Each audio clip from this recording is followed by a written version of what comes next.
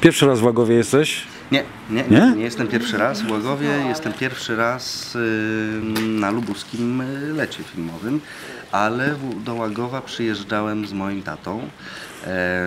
Byliśmy tu z dwa czy trzy razy w wakacje, e, ponieważ bardzo lubimy jeździć na rowerach.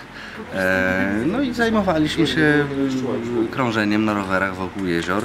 Pływaniem w jeziorach oczywiście też, y, jest fantastyczne miejsce, więc teraz jak przyjechałem tutaj 10 lat później właściwie, czy nawet 12, nie było mnie tu z 12 lat, to tak już wjeżdżając samochodem poznawałem niektóre e, zakamarki i, i to było bardzo przyjemne.